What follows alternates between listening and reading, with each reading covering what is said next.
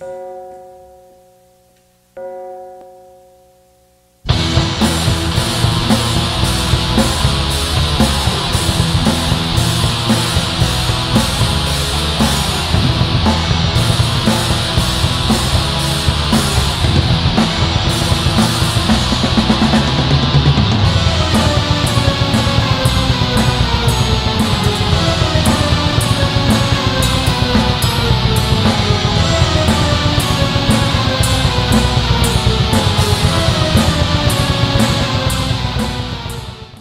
tal señores? Muy buenas noches. Esto es una entrevista más de parte de Relief Metal Show. Continuando con nuestro formato de eh, entrevistas interactivas, se vendría a ser en este caso. En el otro lado teníamos, como ya vimos en la introducción, a la banda Decapitado desde la ciudad eh, capital, pues no, Decapitado desde Quito. Allá lo tenemos a nuestro amigo Miguel Gómez, David Pilliza, Richard Narváez, Jimmy Triviño y nuestra amiga Mayari Granda. Bueno, aquí está toda la banda integrada, primera vez que tenemos en una entrevista de esta con la banda completa. Muchas felicitaciones muchachos por darse el tiempo, muy agradecido por eso también. Bueno, y para comenzar el ámbito de lo que tenemos eh, programado para hoy con las preguntas clásicas de siempre, pero hoy día vamos a tener un tema introductorio para que allá nuestros amigos eh, desde Quito nos aclaren un poquito sobre el tema y nos comente más sobre lo que es la ideología, podría decirse así, y, la filosofía de lo que es la banda Decapitados, pues no. Eh, en primer lugar, antes de ir con el tema, eh, ustedes eh, el estilo de la banda. ¿Cómo sería en este caso? La definición de la banda, bueno, eh, Decapitados es una banda específicamente de metal poético, ¿no? Eh, también dentro de mm, este ambiente de poesía se ha logrado formar una verdadera escuela de escritores de poesía oscura. Esa sería nuestra, nuestra definición, nuestro género. Mm, ¿A lo que te refieres a los otros poetas también eh, tocan metal o solamente interpretan poesía oscura? Eh, la pregunta es para, me estás hablando acerca de la generación decapitada. Eh, no, como tú me decías que eh, hay otros poetas oscuros, por eso te preguntaba, la pregunta es... Claro que sí, sabes que algunos de ellos pertenecientes a varias ciudades del país, hay un germen muy fuerte en Quito, en la parte de Riobamba, también en Manta, ¿no? Eh, bueno, ellos se dedican más como que a tiempo completo a la escritura, ¿no? Más que a la cuestión musical. Mm, pero también tiene ahí sus rasgos. Bueno, entonces, eh, ya comenzando con esta, con esta introducción, defínenos qué significa para ustedes y para ti, Mayari, la, eh, oscuridad. ¿Por qué en tu discografía, en tus libros publicados abordan mucho este tema? ¿Cuál es tu visión al respecto? ¿Y cómo considerarías que la poesía de la generación decapitada, como ya nos estamos nombrando, hizo referencia a lo oculto? Sí, muchas gracias de Ronald. En primer lugar quiero agradecerte por este espacio.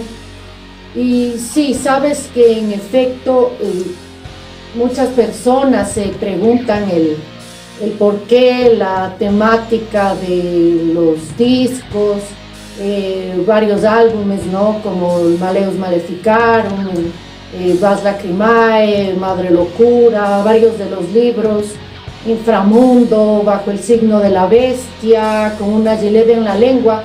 Como te puedes dar cuenta, solamente ya el decir los nombres de varias de estas obras discográficas y también eh, bibliográficas dicen mucho. Desde mi punto de vista, eh, yo pienso que la oscuridad es parte del equilibrio, es parte de una dualidad muy importante que es luz-oscuridad. Y yo me mantengo en que si tú no conoces la oscuridad, tampoco vas a poder conocer la luz, ¿no? Si es que nos remitimos a un plano eh, más espiritual, esto también podría estar eh, significando la, ambivalencia también en lo espiritual, ¿no? Lo que significaría lo, lo mundano y también lo más elevado. Entonces yo pienso que el asumir también nuestra propia oscuridad es una forma de aceptarnos como seres humanos, ¿no? Entonces por esto los temas, eh, los libros y los discos hechos tienen muchísimo de esta esencia, porque sencillamente es la aceptación del ser, ¿no? Con, el lado bueno, con su lado malo, con su lado sórdido, con su lado más espiritual, ¿no? Entonces, me parece eso. Muy bien, correcto. Muy bien, Mayari, este, por aclararnos, porque eh, te soy muy sincero, yo tenía muchas dudas sobre esto y me, y hubiera gustado a sí mismo empaparme un poco más del tema, pues no. Y en este caso, para todos los que nos están viendo, eh, vayan más o menos haciéndose la idea y el concepto de cómo es esta, este, esta cultura, este arte que ustedes están expresando. Entonces, para ver si que alguno de tus compañeros nos podría este, mencionar eh, ya lo que es el meollo del asunto. Pero no sin antes, vamos a ofrecerle un video a ustedes por parte de la banda. Ahorita vamos a ver el video Tiempo de Muerte. Coméntenos un poquito sobre el video, de qué trata y, continuamos con, eh, para la proyección del video. Por supuesto, el video Tiempo de Muerte es uno de los temas emblemáticos de Decapitados fue compuesto aproximadamente en el año 2005 y corresponde al álbum Vas Lacrimae. Tiempo de muerte es la significación del tiempo en el que tú te conviertes en un, en un zombie, en un vampiro. Ese es el tiempo de muerte. Hace referencia explícita a la porfiria o vampirismo. Vamos con el video, tiempo de muerte. Ok, vamos con tiempo de muerte, señores.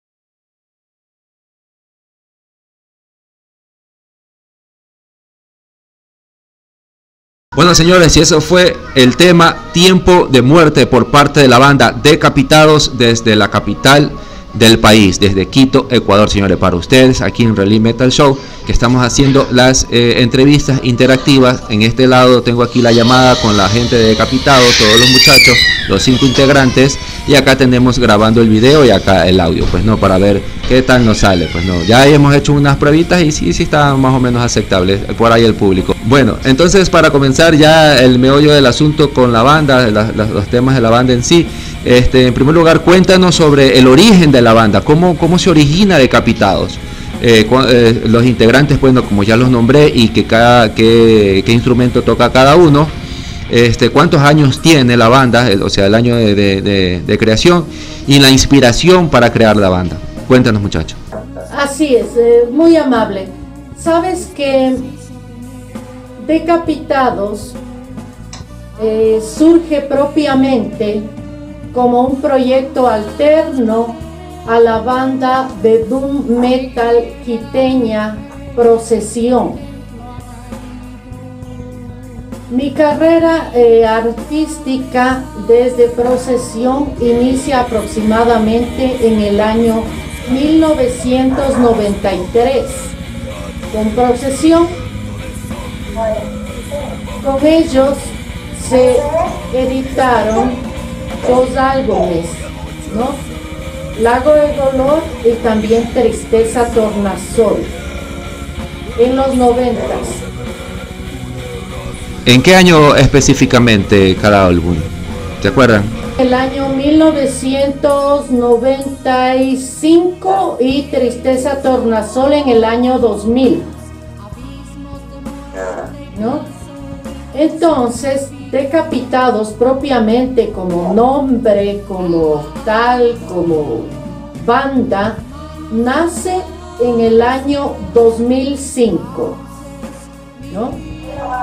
Dentro de la carrera eh, musical, pues mía, estaríamos hablando de 27 años, ya yendo para los 28 años de trayectoria artística, ¿no?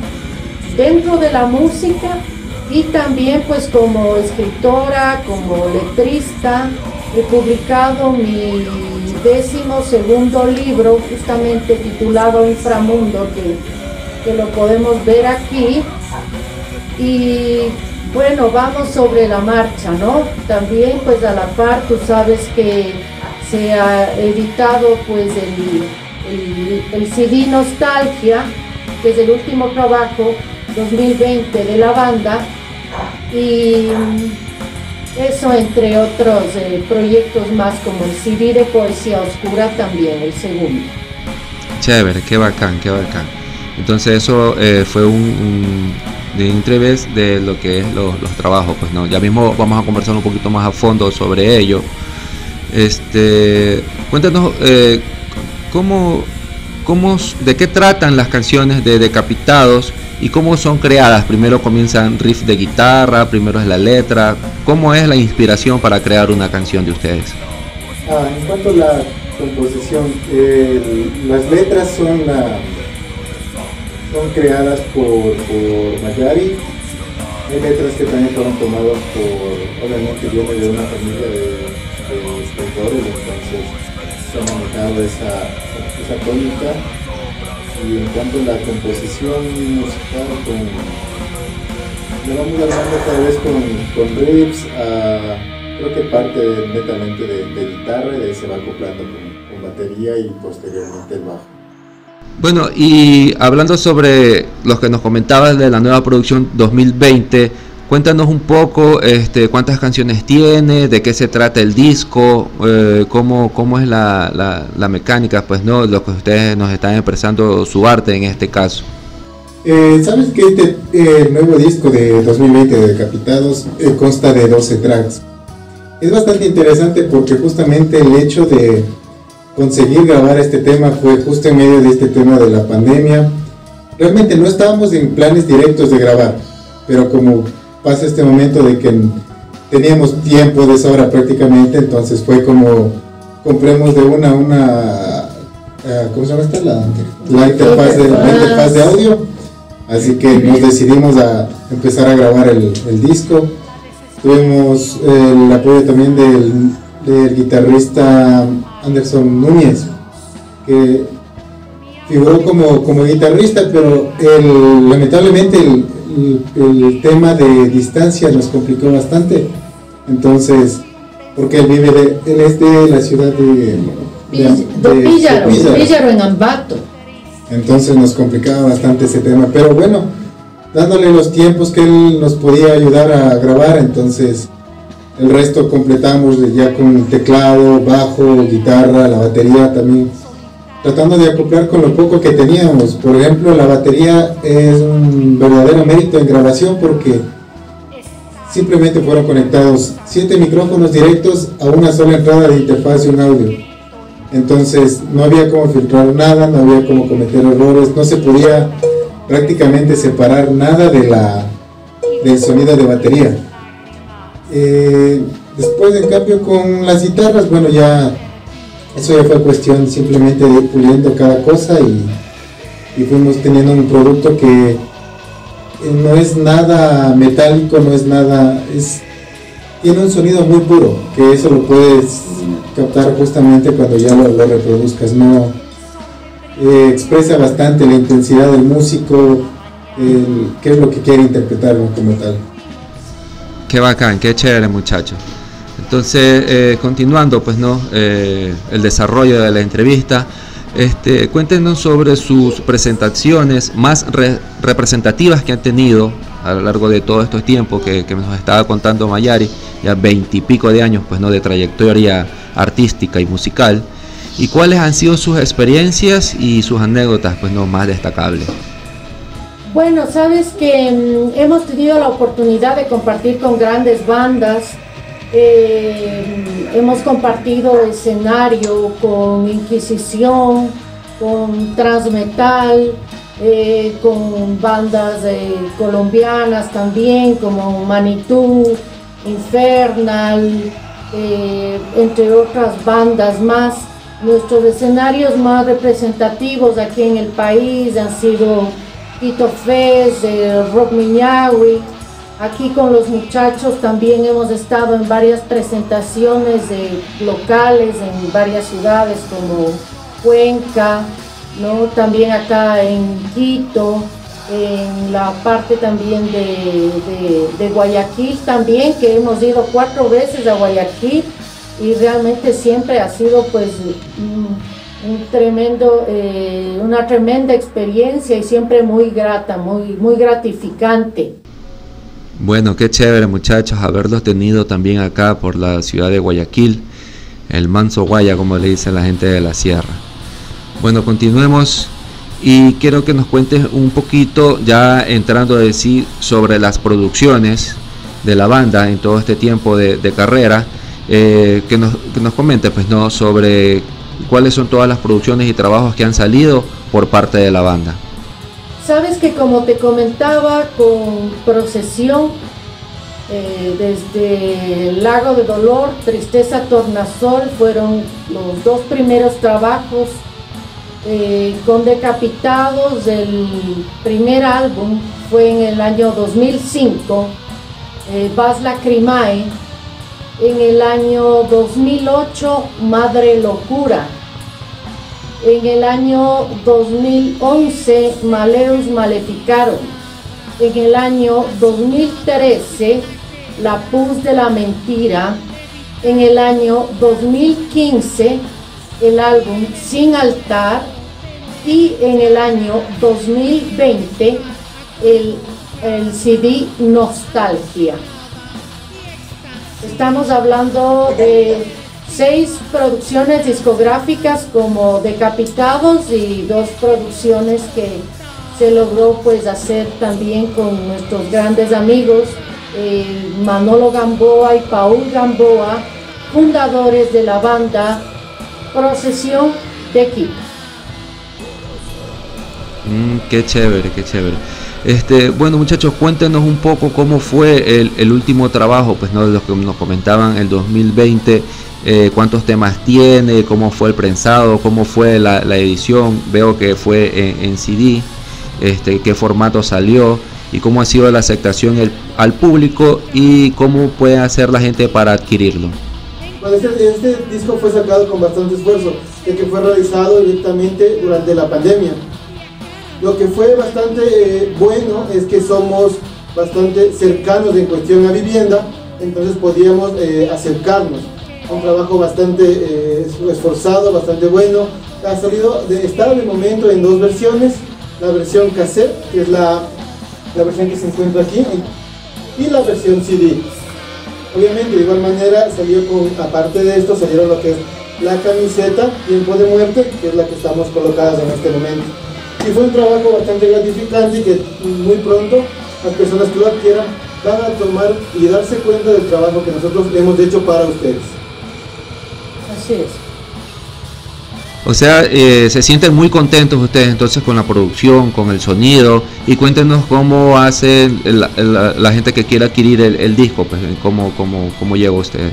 Bueno, el disco está por el momento con contacto de Mayarí. Ella es la persona que está haciendo la distribución local y nacional tanto de los discos como los cassettes y las camisetas. Y también los, el último libro también que se llama Inframundo también que está eh, disponible pues para a nivel nacional y local también. Así también el resto de libros que son colección de decapitados son algunos volúmenes de producciones anteriores. Mm, qué chévere, qué chévere muchachos. De pronto se me ocurre a mí para pegar un enganche de Ah, ¿Existiría algún combo entre el trabajo musical y el libro de pronto? Se me ocurre. Sabes que sí, está en realidad disponible un pack que es de camiseta más el tape más afiche y también pues con el último libro, ¿no? Inframundo.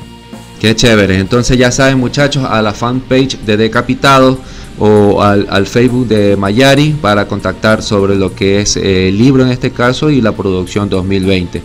Muy recomendada por la parte de la banda. Yo Nos encuentras como decapitados esencial. Ah, ya, muy bien, muy bien, bacán, bacán.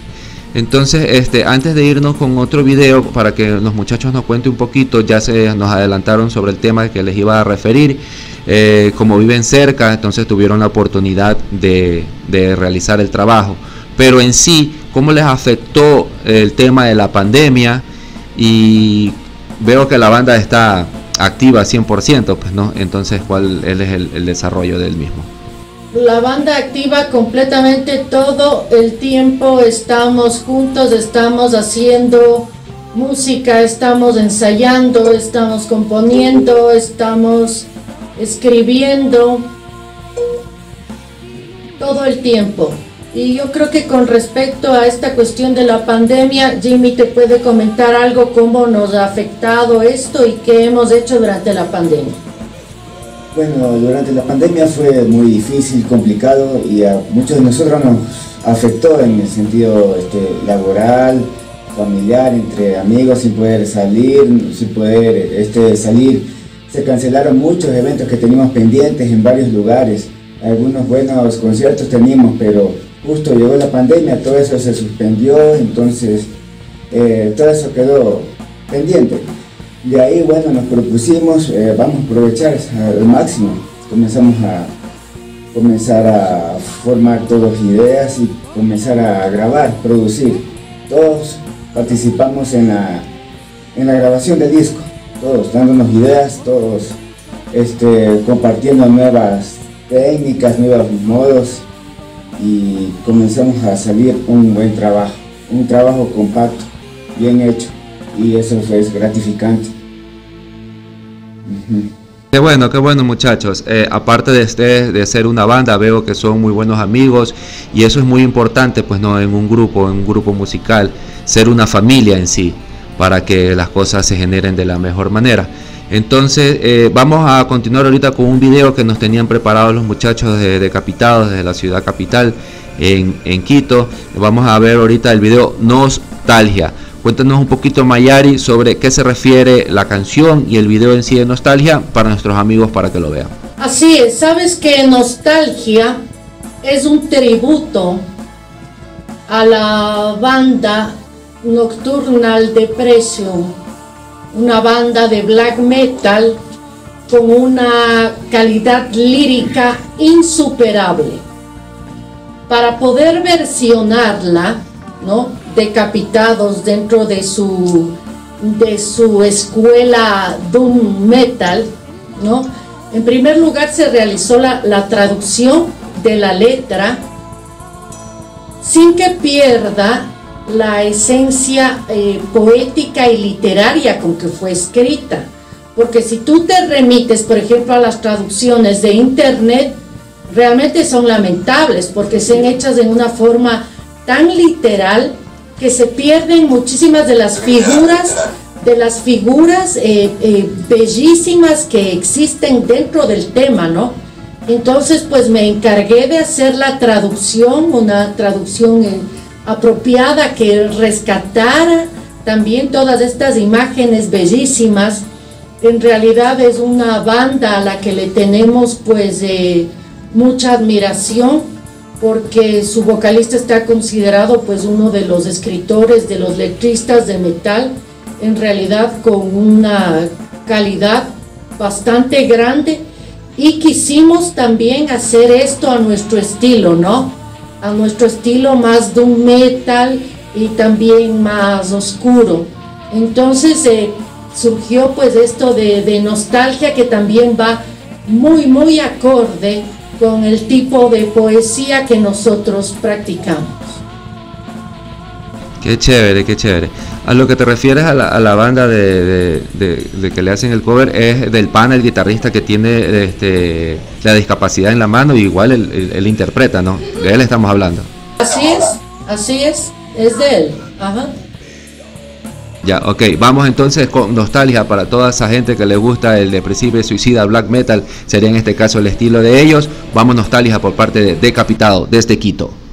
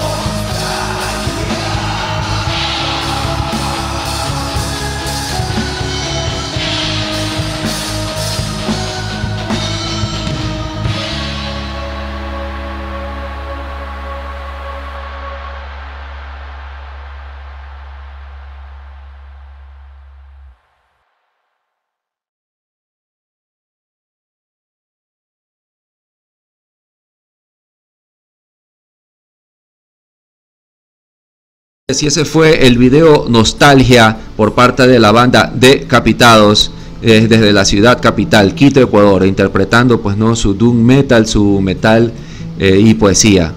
Eh, muchachos, cuéntenos un poco sobre el escenario donde están ustedes esta noche. Pues no, yo lo reconozco por los videos que ustedes han subido a, a las plataformas y veo que parece, a mi impresión, de que es como su central, pues no, su, su, búnker de ustedes para crear toda esta música. ¿no? Sí, sabes que es en realidad nuestro centro de operaciones.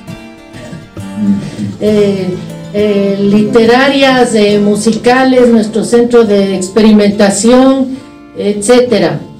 Y sabes que aquí funciona ECATE Estudios, ¿no? Miguel Gómez figura como ingeniero de sonido y también en parte de la producción eh, musical de la banda, ¿no? Entonces Nostalgia es una producción justamente de Ecate Studios, que como recordarán nuestros seguidores, a partir del álbum Maleus Maleficarum, fue grabado en Ecate Studios. Maleus Maleficarum y también el álbum Sin Altar y ahora el álbum Nostalgia. Mm, qué chévere, qué chévere. Este, tengo entendido de que Miguel este, es el técnico, pues no, de, lo que es ECATE Studio. Cuéntanos su experiencia de cómo ha sido la nuevo, lo del nuevo trabajo. Eh, bueno, la experiencia realmente muy enriquecedora, ya que eh, aparte de, no sé, tratar de obtener eh, un buen sonido con los pocos recursos que hemos tenido, porque ha sido un limitante no, hemos disponido de grandes equipos, pero con lo que se ha tenido lo hemos trabajado, lo hemos pulido, hemos tenido el tiempo porque la pandemia realmente nos dio tiempo de sobra para buscar el, detalle, yo que sé, el, micrófono, pero que esté al, punto para captar muy bien el sonido. Entonces, el tiempo lo, aprovechamos muy bien y se refleja en el, en el, sonido del disco. Y que de parte también la parte de diseño nos ayudó también Richard, que él es diseñador gráfico, entonces prácticamente el CD es hecho en casa, por los atendido por su propio dueño, como dice. Así es, sabes que Richard Narváez también pues es eh, músico de algunos proyectos musicales, fue eh, también músico de Grimorium Verum, de Martillo, de Ilegales 87. 87 y es un gran diseñador gráfico con muchísimos años de experiencia y por eso eh, las artes son pues tan, tan depuradas, tan, tan, tan bellas, tan sublimes, porque logró captar justamente esa esencia, ¿no? Del metal, del doom metal, eh, de los 90 y también la esencia poética. Bacán muchachos, qué chévere que estamos conociendo un poco más sobre el tema, como les decía al comienzo. Eh, yo también tenía mucha curiosidad pues no sobre estos puntos sobre esta situación eh, cuéntenos un poco este para avanzar con lo que es el trayecto de la, de la entrevista cuéntenos un poco sobre el futuro de la banda del futuro de decapitados y sus proyectos que tengan eh, a corto y mediano plazo. Bueno, ya comenzamos a ver lo que es el CD 2020, pero ¿qué, proyectos tienen de aquí al final del año, para el próximo 2021? Coméntenos sobre eso. Bueno, los proyectos eh, inmediatos están un poco eh, atorados, están parados por, por tema de pandemia. Pero esperamos que para el próximo año ya actividad, la actividad de conciertos y de eventos para poder mostrar al público este sonido que hemos alcanzado, este, este trabajo que, se lo ha hecho durante esta pandemia. Ese es el objetivo principal, o sea, compartir con la gente el, sonido actual de la banda, con las composiciones, con eh, los textos literarios, el nuevo libro que tenemos de Inframundo. Entonces hay mucho que dar y lamentablemente la pandemia nos tiene un poco frenados. Siendo optimista, esperemos que tal vez para mediados del 2021 sería fechas tal vez para ya generar eh, conciertos y eventos, ¿no? Es lo que, vive el músico, el músico vive de, eso, de la gente, de, la energía.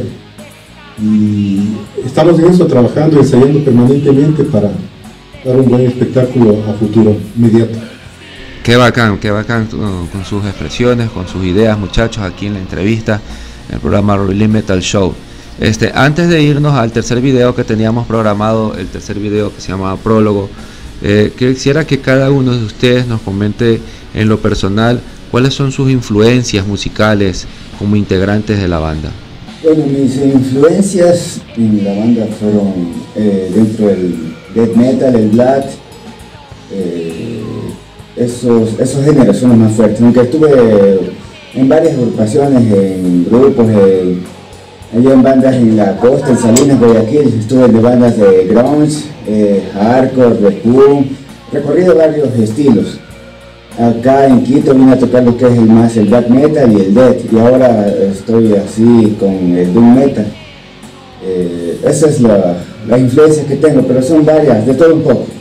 He recorrido así de todos los estilos, sacando varias técnicas, diferentes modos de tocar, todo eso, lo que uno, lo que uno se, se guarda como música, lo que va aprendiendo en el transcurso de, de los años, lo que, como quien dice, las tablas que te va dando, la experiencia, la, la trayectoria de, tantos años, darle duro a, a, la música, hacer lo que uno le gusta, entonces eh, eso es lo que, lo que le, le fortalece, le, le, llena el espíritu, el alma como, como ser humano, como músico. Entonces, ese es como un resumen dentro de lo que es mi, como que dice, mi trayectoria o mis influencias musicales. Bueno, yo musicalmente, eh, antes de, de, dar la influencia musical, creo que todos los integrantes de la banda venimos de muchas corrientes musicales, eso ha aportado bastante, porque no es que todos eh, hemos estado en el mismo estilo, hemos experimentado muchos estilos y eso creo que, que nutre a la banda para que, que, pueda crear cosas diferentes. Bueno, mi inicio realmente es netamente hardcore, o sea, yo empecé haciendo hardcore, eh, música bastante rápida, entonces eso es lo que a mí me inició. Luego... De rápida y agresiva, pues, ¿no? Sí, eso fundamos una, la banda que, que fundé yo con, con otros colegas que están cerca de, del sector, se llama Martillo, que la fundamos en el año 98. Y de ahí estuvimos un par de, de años y paramos. Años después yo ingresé a, formar parte de, de Irimorium donde grabamos un, un, álbum, un álbum que se llama Demo 2000, que fue recién reeditado en vinil hace unos 5 años creo, no me acuerdo Luego de, paso por Memorium Verum volví a, Martillo, al hardcore, a la escena, a los festivales, a los conciertos. Hubo la oportunidad también de tocar fuera de, de, provincia, en algunas provincias. Estuvimos en Guayaquil también una vez, hace mucho tiempo ya, porque eso te hablo ya del 2007, 2006. Y bueno, de ahí en adelante he seguido haciendo las cosas que me gustan. Por ejemplo, yo soy muy fan de Ilegales, entonces armé una banda tributo ilegales en los últimos años, antes de, de ingresar a Decapitados. Entonces, eh, todo, todo este tiempo y todos los años he estado en contacto con, con, la gente y con la banda, con los músicos, con los conciertos, entonces para mí es parte, parte de la vida misma mía, o sea, no, no podría estar yo sin hacer algo. En este caso, en este caso de la banda Ilegales estamos hablando de la banda de Jorge Martínez, la de España. Claro, obviamente la de Jorge Martínez, sí, sí.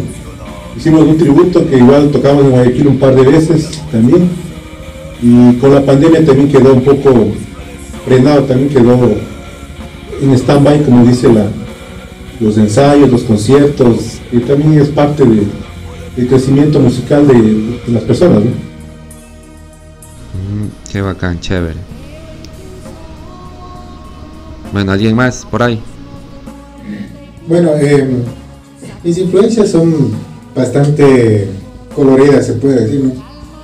Porque pasaba desde bandas de reggae, de, hardcore, también toqué el martillo junto a Richard un tiempo, la banda que hasta ahora también sigue en stand-by, pero estamos en, en, proceso de recuperar el, nuevamente los ensayos con, con martillo. Ah, pero ah, también de influencias también puedo decirte que He pasado por bandas de reggae que he tocado el bajo, he pasado en bandas de death metal donde he pasado tocando guitarra también. En otras que Arlequín, que fue mi último proyecto, en el que logramos consolidar el, un disco también que se llama El Teatro del Imperecedero. Y bueno, eso en cuanto a mi, mi experiencia, ¿no? algunas bandas bastante coloridas ahí. Bueno, en mi caso también las influencias son totalmente variadas. ¿Por qué? Porque yo eh, comencé eh, con una banda de gótico. Hacíamos, eh, en ese tiempo, como éramos más jóvenes, hacíamos eh, covers de Within Temptation, de, de Nightwish, era más, más en la onda gótica. Posterior a eso ya formamos con otros amigos una banda de nombre Abismal, la cual empezamos a hacer una especie de death black metal. Entonces también de igual manera ha sido bastante eh, variado en lo que es las influencias con respecto a la música, en las cuales eh, he aprendido mucho tanto en lo que es la parte de composición, técnicas y, en sí el estilo de vida que lleva cada uno de, estos géneros que te llevan eh, por el camino de los conciertos, de, compartir con la gente, compartes diferente con cada público. No es lo mismo ir eh, o estar compartiendo con un público de gótico, con un público de death o de black. Entonces eso te enriquece como, como ser humano y como músico. ¿Y usted, Mayari? Yo, yo, eh, influencias de musicales, eh, bueno, yo me, me nutrí creo que con, con la, la corriente del Doom de los eh, 90, en los 90 pues que se escuchaba speed metal, bueno, una serie de locuras, lo que fue el grind, el noise, el noise industrial, llegué hasta el noise industrial, Ron. Qué chévere, qué chévere. eh, me nutrí de, de muchísimas eh, bandas de metal, de bandas también de rock clásico y de ahí pues ya entré muy joven a militar en la agrupación quiteña, eh, procesión y desde allí fue pues eh, mi camino artístico. Qué chévere muchachos, qué bueno eh, escucharlos de que todos tienen este muy amplio el criterio musical y que todos eh, han colaborado pues no en este caso para hacer la, la- las ideas pues no que es- están palpadas en Decapitados. Los felicito mucho por, e- eh, por, ese, por este caso eh, porque es como que a opinión personal es como que tienes de dónde más escoger, de dónde más escoger y hacer la fusión de, la música, pues no. Entonces, de pronto, como unos tienen eh, toques hardcore, otros tienen cortes este, de black metal, death metal, entonces ahí puedo eh, escoger, pues no, de dónde, de dónde más. Qué bacán, qué bacán, muchacho. Entonces, ahorita como ya lo habíamos nombrado, vamos con el tema prólogo de parte de la banda Decapitados, señores, desde Quito, Ecuador, la capital. Prólogo.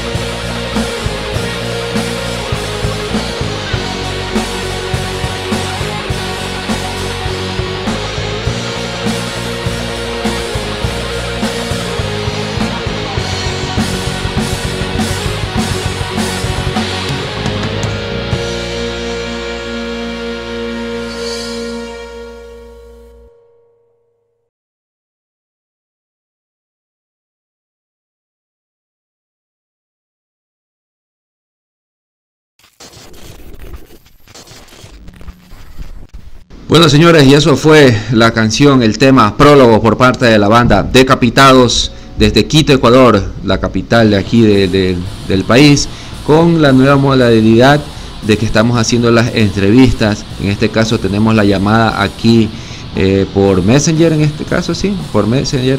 Eh, y acá tenemos grabando. Ahí igualmente ellos están grabando de otros dispositivos y están compartiendo lo que es eh, sus detalles de la banda Decapitados.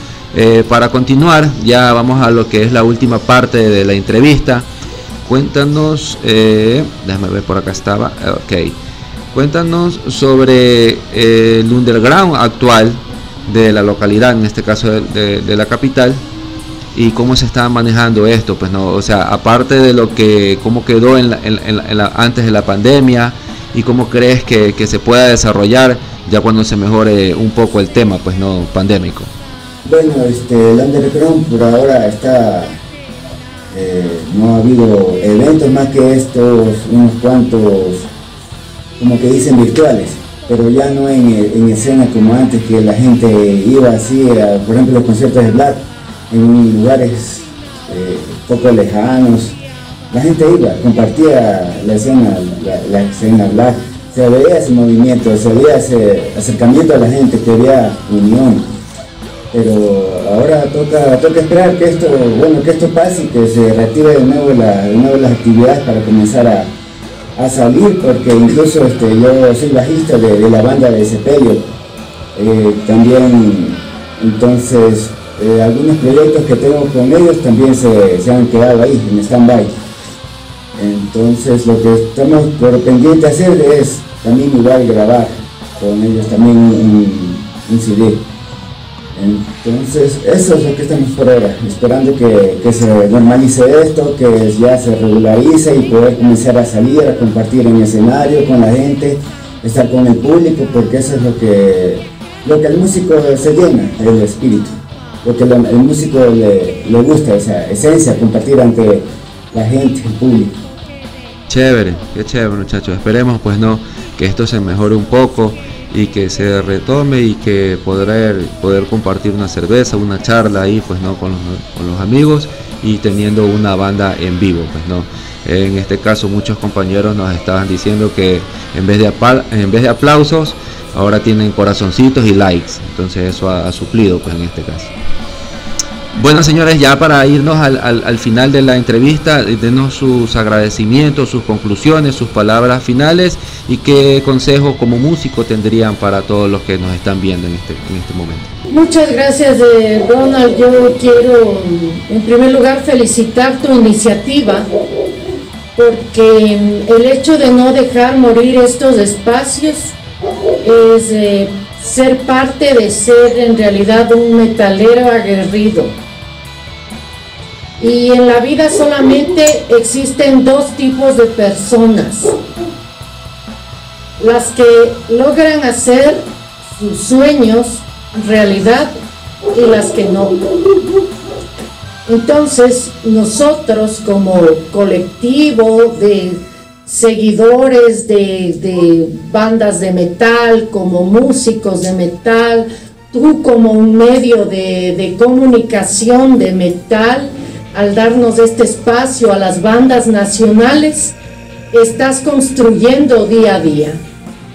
Entonces yo quiero eh, felicitarte, quiero agradecerte, quiero saludar a Guayaquil, que es una ciudad hermosa, eh, cuna de nuestro gran poeta modernista y parte de la generación decapitada, Medardo Ángel Silva, y justamente pues una, una ciudad de, grandes artistas, de grandes músicos, artistas plásticos, etcétera, una ciudad importante completamente a través de la historia, ¿no? Eh, por ser un, sitio de, encuentro, un punto de paso, por ser un puerto, ¿no? Entonces yo quiero agradecerte, Ronald, Estamos con muchos proyectos para futuro que igual lo seguimos trabajando. Ya estamos ahorita trabajando en nuestros nuevos videoclips eh, también en nuestros nuevos temas, en nuestro próximo álbum, en el segundo CD de Poesía Oscura y en los libros que vengan. Mm, qué chévere, qué chévere muchachos. Entonces ya ahí las palabras finales del resto de la banda para ya concluir la entrevista. Bueno, eh, primero agradecerte a ti por la oportunidad de, de, dar ese, ese, ese enlace a las bandas para que puedan estar conectadas con la gente, porque eh, y saber qué se está haciendo, saber que se está trabajando, saber que estamos vigentes.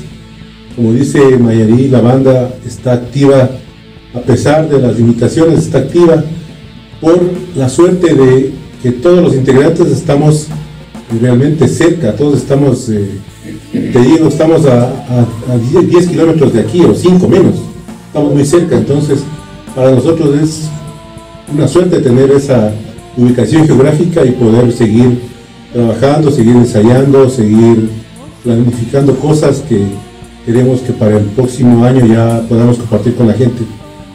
Y eso, nada más. Amigo.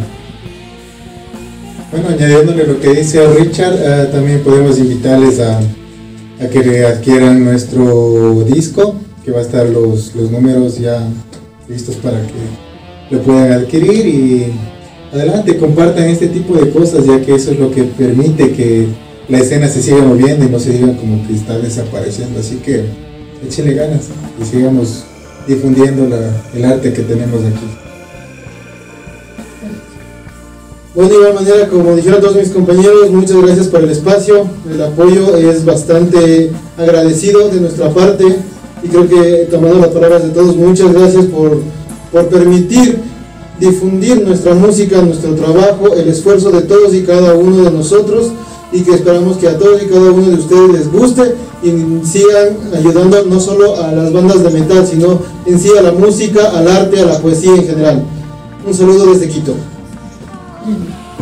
Bueno, aprovechando este, este espacio, este agradecerte mucho por, por, esta oportunidad de poder compartir junto a nosotros nuestras expectativas de lo que se está haciendo y, aparte de eso también un saludo para mi familia allá que está en Guayaquil y en Salinas, pues yo soy allá y como te dije he compartido con muchas bandas de, de la costa. Entonces es un gusto, un placer de haber compartido contigo también este momento y saludos y suerte y larga vida al metal. Bueno señores, ahí estuvieron compartiendo con nosotros la banda Decapitados desde la capital de Ecuador, Quito. Así que eso fue una entrevista que tuvimos con ellos. Eh, eh, un poco más sobre sus temas, lo, tema, el tema de lo que es metal y poesía. Pues no, ahí ya nos eh, expresaron sobre su último trabajo que tienen. Ya saben, eh, lo podrán adquirir en la fanpage de la banda y con el, el, Facebook de Mayari en este caso. Pues no. Entonces, este, yo también les quedo muy agradecido a ustedes por el tiempo. Espero que nos haya salido bien esta. Aquí tenemos un invitado. Espero que nos haya salido muy bien este, las entrevistas, ya la vamos a estar subiendo en estos días y chévere, pues no, vamos a salir esto adelante eh, con la ayuda de todos, pues no, así mismo cuidándonos, eh, eh, siguiendo los protocolos que ya teníamos previstos. Espero tampoco no llegar como los países en Europa que han vuelto al confinamiento. Entonces, sin más, esperemos que no. Esto fue una entrevista más de parte de Roy Lee Metal Show. Próximamente vamos a estar teniendo nuevas bandas, de pronto también fuera de lo que es el territorio ecuatoriano. Entonces nos vemos hasta la próxima. Larga vida. Chao, chao. Chao.